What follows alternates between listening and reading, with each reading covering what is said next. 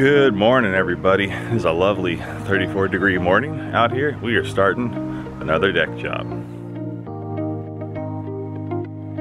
So you can see the current state of the deck. We are about to start demoing on this Monday morning and I'll show you later on uh, some, some of the plans and what it's gonna look like uh, going forward. But for now, we're just gonna start tearing it apart and got a lot of stuff to unload and a lot of materials to get sorted and organized and we're gonna get after it.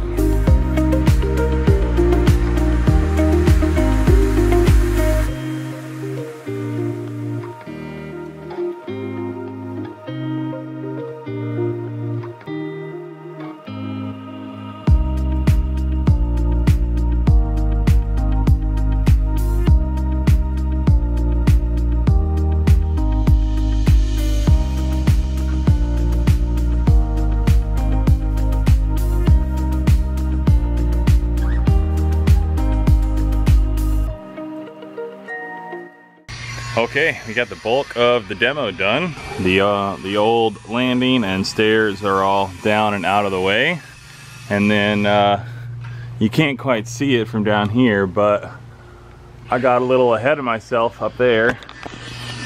I, uh, I neglected to properly go over the scope of work and make sure I knew we were leaving the joists on this original deck section, but I completely missed the fact that we were supposed to be leaving the deck boards, so I started cutting up the deck boards when I was made aware that they were not being replaced. So, I'm not, uh, I don't want to be out here hiding my mistakes and making it look like we always do everything right the first time, so full transparency, I, I messed up on this one, so we're going to be doing some new decking on this deck and uh, trying to be better next time.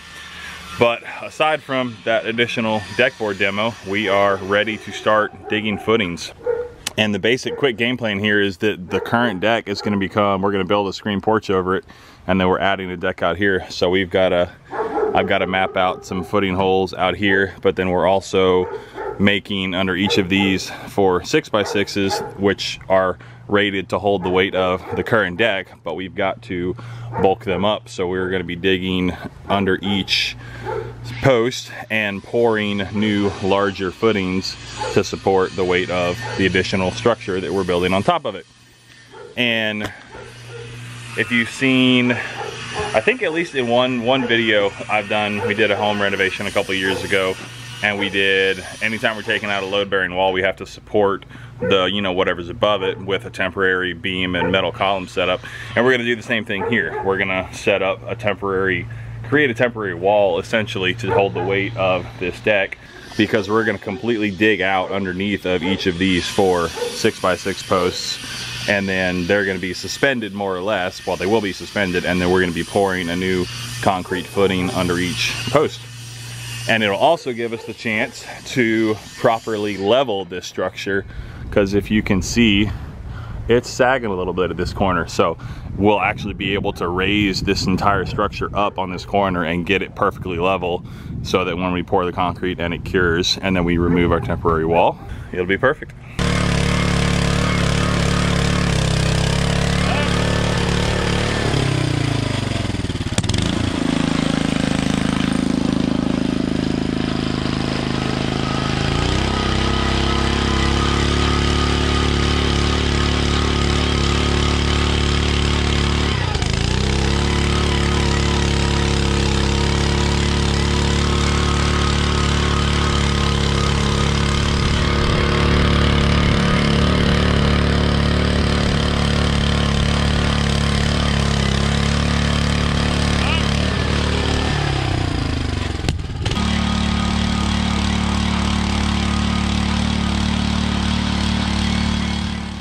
all right next morning. So we had uh, we had help from a couple other guys later in the afternoon. So we got all of our holes dug. So these three out here are for the beam that we were putting in that holds the end of the deck that's out here. And then these two right here are for the landing. And we actually ended up finding out that these ones are freaking huge.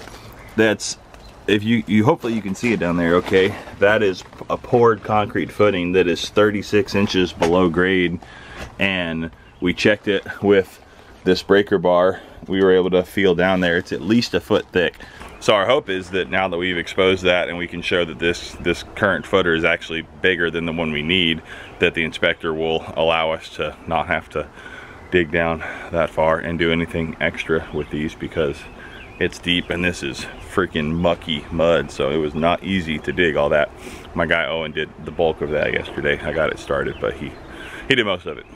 And we actually got some iPads yesterday which is pretty freaking sweet because it allows us to look at plans like this in a much larger much larger area and zoom in and stuff. But this is what we're this is our final look that we're going for right here. So step back so you can see. This right here is of course the existing, you know, sunroom that's attached to the house. And we are extending, that's the side view right there. The existing deck right there is gonna become that screened porch. And then we're extending the deck out with the landing and the stairs coming down off the front right here instead of going down the side like that, like they were before. So it should be a, it should be a pretty cool project. And it's super nice having that iPad to be able to not drain my phone battery all day without trying to look at planes and stuff in the sunlight and uh, yeah pretty awesome. But uh, we're waiting on I'm working on calculating uh, stairs because we're having there's basically the landing or you know the main deck right here and then it's a step down to the landing and then our set of stairs coming down you know right here in this space. So I got a lot of math to do to figure all that out and I'm working on that. Um, we're also going to, I picked up new uh, treated wood decking to replace all of the decking that I jacked up yesterday. The other, the other two uh, folks that came and helped us yesterday pulled off all the rest of it. And uh, yeah that's how much that's how much decking we're replacing because I uh, messed up. So you know make sure you know what you're doing before you just start working I'll hopefully learn that lesson going forward all right, so this is the landing, which Owen just assembled. We just went ahead and assembled it all in one big piece and we'll carry it over there in a minute. We've got the post cut to height and notched, and then we actually have to also space off the house here because where this post is, it's a little bit farther out than the house is right here, about an inch, so it worked out pretty well. We were able to reuse a couple old deck boards and that way the ledger for that surface will attach here nicely. And then we'll put a beam together and set it in these posts. And they'll get set down in the holes. And then we'll just set the landing framing up on top of it.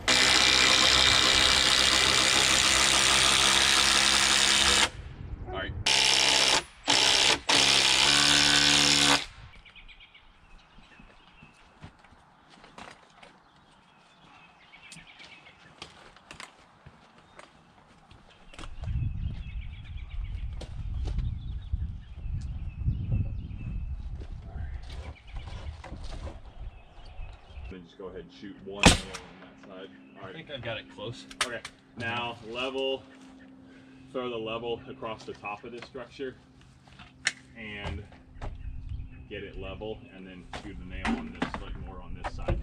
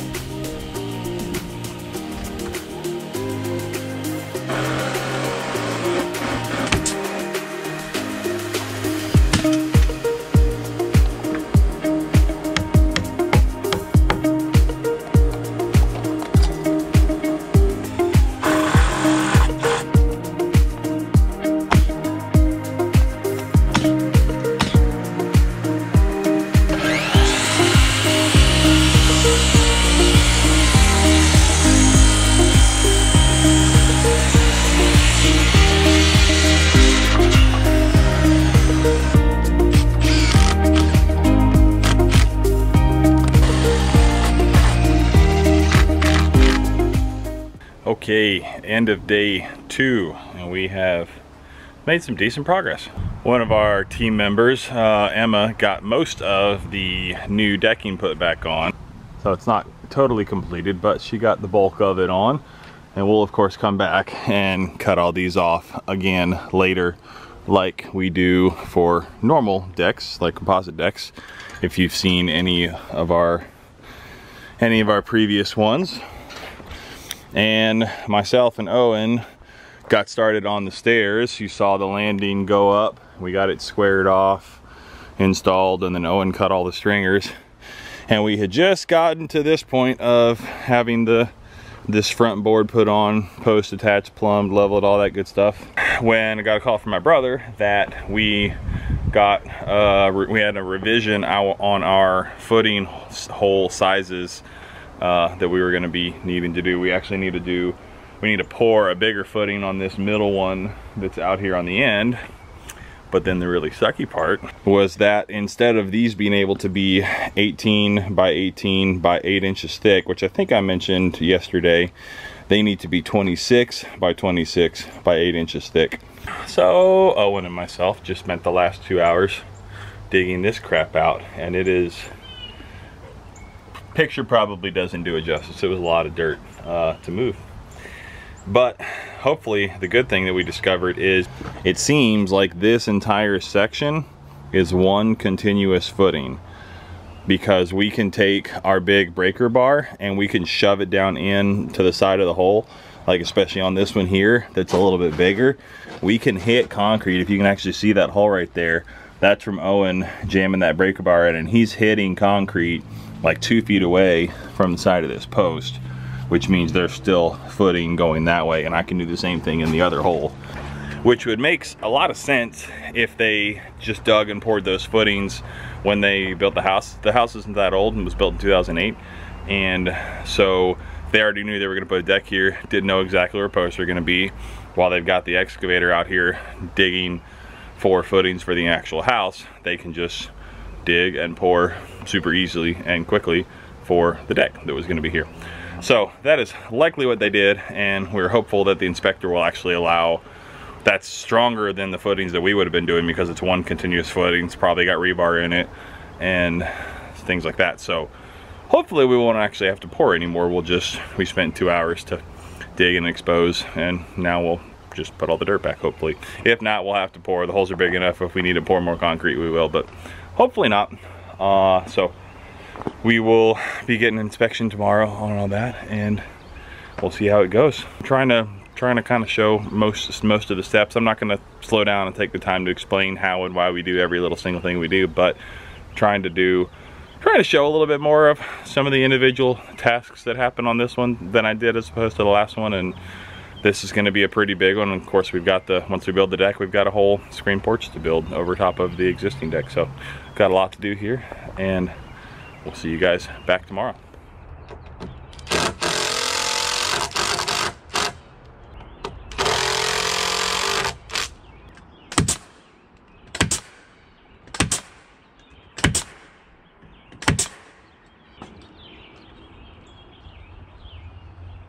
So the way I'm able to set these myself, we start by attaching these angle brackets, these right angle brackets on the top of these stringers. And then I'm gonna set the top in, up at the top of the stringer in place, with the bottom as well. It'll drop down low. And you can see right now it's probably sitting about two to three inches low. And then I've started screws down here so all I have to do is lift up on the entire stringer. And of course it's just holding itself in place at the top. And I make sure I'm flush down here at the bottom. Run the screw in. And the one down low as well. And now the bottom of my is in the right spot. And then I come up here with my joist hanger gun and lift the top up into place.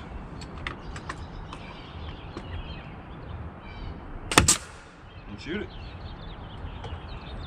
So now that you saw how the stringers go up, I'll give you a quick rundown on how we how we do these stairs in order to meet code and also save time. So the way that we used to do the bottoms of our stair assemblies is pretty much like this, where just in case you can't see already, all we do on this very bottom, this very bottom tread right here, we just cut an inch and a half off of it so that we can attach this essentially a front band board to the bottom of the stringers for stability and then another purpose purposes we'll get to. But the way we used to do this is we would actually excavate a whole section right here and we would form and pour a four to five inch thick slab that the entire bottom of the stair assembly would rest on. So it would be, you know, in this case, these are five foot wide stairs. So it would be about a five and a half foot by hmm, 14 inch wide footing probably, which of course takes time. You've got to dig, it's extra digging to, you know, be able to pour, form and pour the concrete. Then you can't build on it right away. You got to wait it. I mean, we, we would always wait at least a day before we started putting weight on it, sometimes more depending on the temperature. So it just slows the whole process down. And about a year and a half or so ago, my helper, we were gonna do this and he was like, he had a history of, of framing and decks and stuff uh, before he came to work with us. And he was like, man, why don't you guys just do it this way? And we were like, yeah, that makes way more sense. So we're essentially framing this the same way we would everything else. These posts will get bolted. We haven't run them all the way in yet because we got to do some more blocking. But we run in these ThruLOKs, these FastenMaster through locks, and they turn this this post in, from a handrail post into an actual support post. And we have our footing blocks down there. And we haven't done them yet, but we're going to put joist hangers. That's another reason. That's the other reason for this board is that we're going to put joist hangers right here that hold the bottom of the stringer so now all these intermediate stringers don't have to rest on anything other than the joist hangers that are sitting right there. Just like we have right here. Same exact, same exact concept. so it means that as soon as we're ready to frame stairs, all we gotta do is dig holes and drop footing blocks and start building like we are right now when we don't actually even have a deck for it to tie into yet which is good because we're we're waiting on inspector. Hopefully he'll show up soon this morning and we'll be able to get all that stuff knocked out and continue with the rest of it. But this gives us this gives us a whole day of work basically. If for some reason he doesn't show up till later this afternoon, we can just pretty much completely build this entire set of stairs while we're waiting to make progress on other stuff. So that's how we do it. It's a far better way in my opinion and faster and allows us to keep moving quickly. All right, well it's only mid-morning, but we uh, we just got ourselves pretty well cleaned up because we've got this massive storm that's rolling towards us and is gonna hit in the next 20 minutes. But we did have our uh, footing inspection, so we got this one poured and it's covered up and ready to go. And we got approval to leave these ones as they are, so we'll spend the next few minutes before we start getting poured on backfilling and hopefully come back tomorrow if the weather's better and keep rocking. Right, back out here Friday morning. Had some rain yesterday. There's a little bit of water in the bottom of some of these holes. That's the one that we poured concrete in. And that hole is exactly like those holes. Except for some reason it has way more water in it. And our, of course, our two large holes up here have a decent amount of water in them as well. But we started out by leveling this deck. So we can't really adjust where it's attached to the house and it's out of level anyway. But what we can do is we set our laser on that corner and then we just cut, we removed this outer band board here so that we could pull and or cut nails that was holding the beams to the posts. And then we used our temporary supports and lifted it up. So now you can see the gap in that space and this will actually move around because it's not touching anymore. And it's the same thing except it's even a little bit higher over here. So now we're gonna just put some composite shims in these spaces to lower the deck back down onto. And then we will have a nice level section across the front here to attach our new deck to.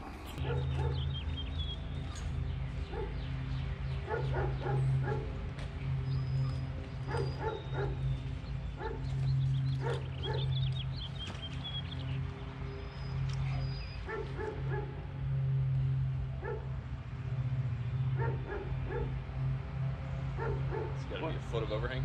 Huh? Yeah, it should be pretty much that. Um, you just maintain control on your end. We should have marked it, but I'll just mark it. Yeah. So it's gonna come my way about an inch.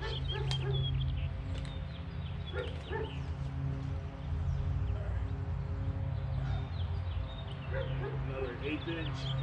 Okay, right there.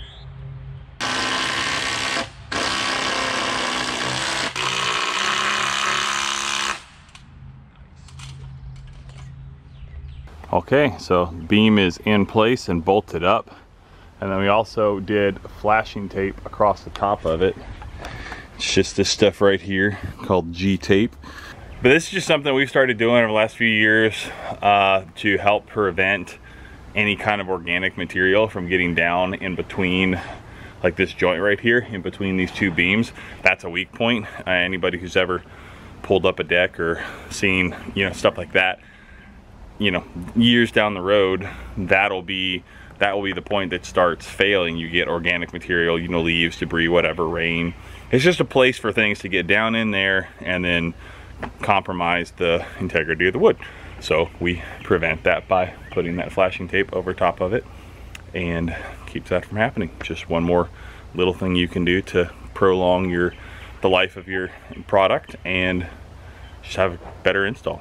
All right, so we're gonna grade our joist real quick. We've done this a couple other ways in the past, but uh, we're gonna go the way that Dr. Dex off Instagram does it. So down there, the girder that we just put up is gonna be what our joist are sitting on on the one end. The end attached to the current deck, they're gonna just be hanging the joist hangers. We can control the height of them so it's a little bit less important. So we got all these floor joists set up and you can see how off they are. So if we were to just set all those randomly on that girder, that's how bad all of those are gonna be. You're gonna see a lot of up and down in the deck. So we're going to kind of move around all these joists and get it where the level is sitting flat all across the tops of them instead of high on some and low on some. All right, so it's not a thousand percent perfect, but it's pretty dang good and a hell of a lot better than it was before.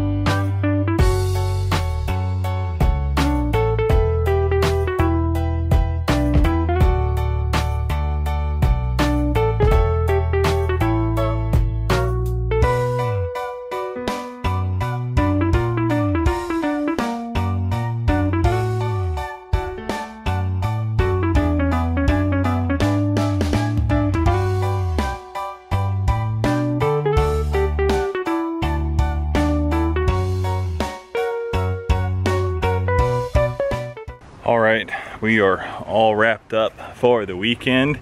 Made pretty good progress for only having like three and a half days of work on site this week. I made another mistake this morning, so we need to buy another board, the band board that goes across these end joists right here.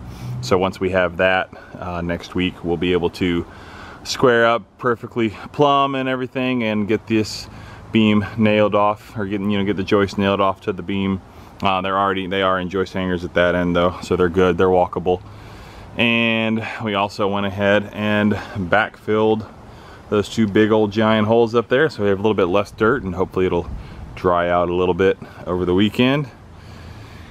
But yeah that's uh that's about it. We're we only were on site for three and a half days so pretty decent progress for the week. So that'll be the end of this video. I think i'm just gonna do uh, weekly videos for about a three week two and a half three week project. So just make it make it that short and easy. Three nice three videos three or four videos or however many it ends up being. Try to keep them from getting too terribly long so uh, thank you guys for watching. Hopefully this has been a little bit different uh, you know video than the the previous deck. I'm trying to show more things instead of the the broad scope and uh, we got another pretty exciting one coming up after this one so we'll be lots of deck content coming your way but they're all they're going to be unique and different so hopefully it won't get too repetitive and I'll do my best to keep it interesting and informative. So let me know if you have comments. Uh, I'd love to answer them if you have any questions and thanks for watching. See you guys on the next one